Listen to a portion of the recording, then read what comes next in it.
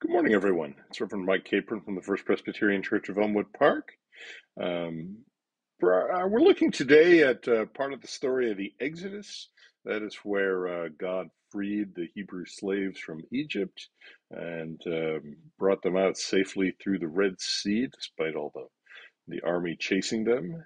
And um, then the plan was for God to give Moses the laws for the people to live by.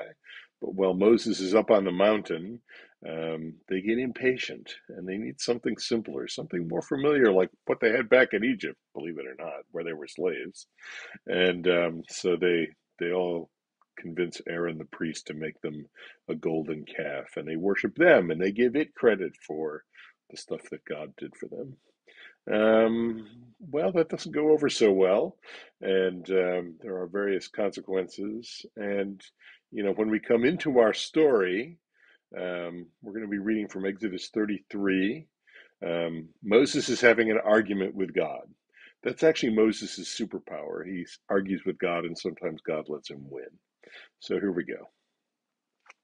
Then the Lord said to Moses, Leave this place you and the people you brought up out of Egypt, and go up to the land I promised on oath to Abraham, Isaac, and Jacob, saying, I will give it to your descendants. Go up to the land flowing with milk and honey.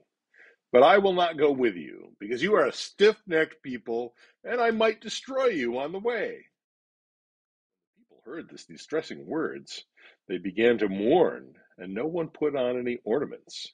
For the Lord had said to Moses, Tell the Israelites, you are a stiff necked people. Um, if I were to go with you even for a moment, I might destroy you. Take off your ornaments, and I will decide what to do with you. So the Israelites stripped off their ornaments at Mount Horeb, which is also Mount Sinai. Moses said to the Lord, You've been telling me, lead these people, but you have not let me know whom you will send with me. You have said, I know you by name, and you have found favor with me. If you are pleased with me, teach me your ways, so that I may know you and continue to find favor with you. And remember that this nation is your people. The Lord replied, My presence will go with you, and I will give you rest. And then Moses said to him, If your presence does not go with us, then do not send us up from here. How will anyone know you are pleased with me and with your people unless you go with us? What else will distinguish me and your people from all the other people on the face of the earth? And the Lord said to Moses, I will do the very thing that you have asked, because I am pleased with you, and I know you by name.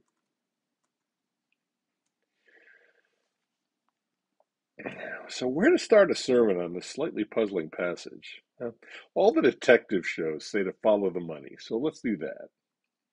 Uh, they weren't carrying any U.S. currency, so I guess the ornaments would be the closest in this passage. Ornaments as in jewelry. Um, so, you know, here's the question. Until recently, the Hebrew people, the people we're talking about, were slaves in Egypt. So, where did slaves get jewelry? Ah, Exodus 12 the Israelites did as Moses instructed and asked the Egyptians for articles of silver and gold for clothing. The Lord had made the Egyptians favorably disposed toward the people, and they gave them what they asked for, and so they plundered the Egyptians. So God got the jewelry for them so they would not leave Egypt empty handed. God gave them reparations from their time of enslavement. All right, next question. What did the Hebrews do with the jewelry God got for them? Well, a lot of it went into making the golden calf in Exodus 32. Moses was up on the mountain speaking with God. The people got nervous. They go to Aaron, come make us gods who will go before us. Aaron said, Take off your gold earrings that your wives, your sons, and your daughters are wearing and bring them to me. So all the people took off their earrings and brought them to Aaron. He took what they handed him and made an idol cast in the shape of a calf, fashioning it with a tool. And then they said, Here are your gods, Israel, who brought you out of Egypt, giving the calf credit for what God did.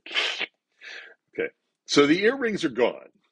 Um, But I just have to tell you what happened to the golden calf, right? Exodus 32 20. Moses came down from the mountain, took the calf the people had made, burned it in the fire. He ground it into powder. He scattered it on the water and made the Israelites drink it. talk about that. For, talk about penance, right? All right. Now we arrive at today's passage where God commands them to get rid of the rest of it all the gold, jewels, all their wealth they brought out of Egypt, get rid of it. So the Israelites stripped off their ornaments at Mount Horeb. That's kind of a big deal, but not when you compare it with the larger threat. In case you missed it from the reading, God told Moses that he was so angry he might destroy the Hebrew people. This is what leads to Moses' argument with God. One of the preconditions for a negotiation was the people getting rid of their ornaments. Now, why did God want them to do that? Well, the short answer is sin, but hear me out. We sinful human beings consistently misuse all the gifts God gives us. We learn how to farm, so let's clear all the farmland around our town for more fields. Oops, we cut down the trees and all our soil erodes into the river. Um, we create weapons for hunting so we can eat. Oops, the weapons work on other people too. Warfare we learn how to produce more goods so that people have better lives. Oops, we also create exploited workers, wealth inequality, and global warming thanks to our industrial revolution pollution. Wow, nuclear energy could help us in so many ways. You know where this is going, right? Nuclear waste and nuclear bombs. We human beings do this so often in so many ways that no one could possibly track or list them all. The basic idea is this anything anything that makes us feel like we can make it on our own leads us to think that we don't need God and it turns into an idol and we get bit by the law of unintended consequences. So sometimes we're better off with nothing. So off with your ornaments it says in Exodus 33. At least when we have nothing, we know that we have to rely on God. Remember when Jesus sent the disciples out in pairs and insisted they take nothing with them for the journey? He didn't expect them to live that way all the time, but a healthy dose of it was good for them. Heck, even Jesus said this about himself Foxes have dens and birds have nests, but the Son of Man has no place to lay his head. Here's a little quote from Dr. Walter Brueggemann, one of my professors. In this post calf situation, Israel, constituted by God's mercy and in spite of God's rage, is to unburden itself of such possessions. Because God speaks, Israel has a post calf possibility, but it must forego the commodities that seduce and distort. Love that phrase. Commodities that seduce and distort. Watch out for those. You know, if divesting of resources and possessions one makes one realize our need for God, leading to spiritual maturity and increased faith, then the members of the First Presbyterian Church of Elmwood Park are spiritually mature and possessed of a strong faith. That's my personal opinion of this lovely group. Um, as they, and I'm using this Bible text to back it up. They are giving up their building and resources and going out into the world to find another church, um, trusting that God will be with them. And God will be with us all. Uh, and the wonderful budding relationship with our new friends at the First Presbyterian Church of Maywood is evidence of that.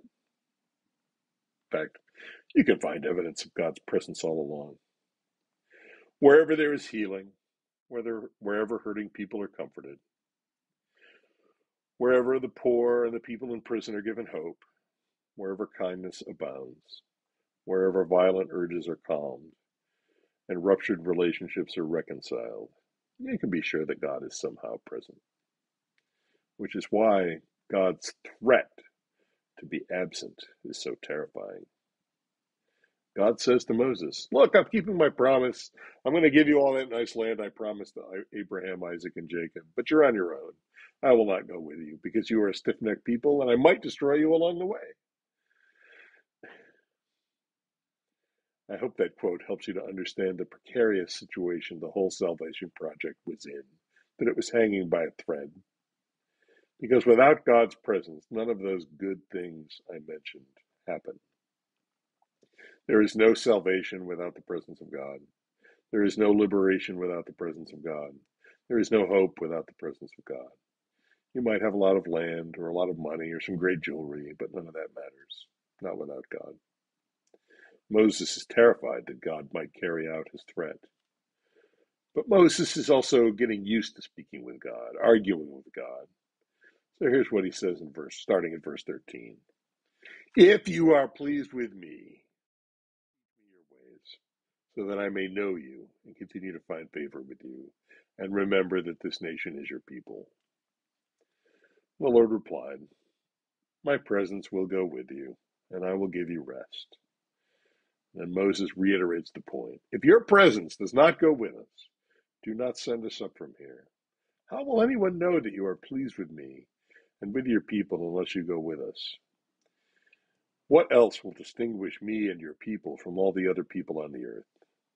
And the Lord said to Moses, I will do the very thing that you have asked because I am pleased with you and because I know you by name.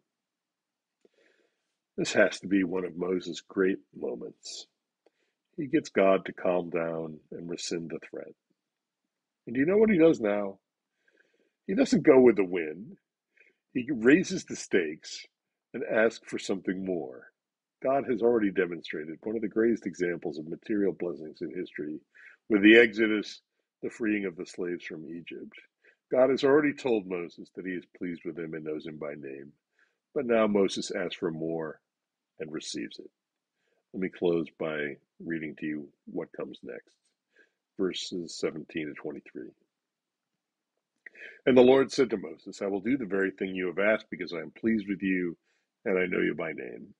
And Moses said, Now show me your glory. And the Lord said, I will cause all my goodness to pass in front of you, and I will proclaim my name, the Lord, in your presence. I will have mercy on whom I will have mercy, and I will have compassion on whom I will have compassion. But, he said, you cannot see my face, for no one can see me and live. Meaning, we couldn't handle it. Then the Lord said, There is a place near me where you may stand on a rock. When my glory passes by, I will put you in the cleft of the rock and will cover you with my hand until I have passed by. Then I will remove my hand, and you will see my back, but my face must not be seen. This is the end where Moses gets this amazing experience of um, a little bit of a view of God that really nobody gets. Um, what a remarkable thing that is. Um, I find this to be a very comforting story, uh, if an odd one, and I hope that you do too. God bless.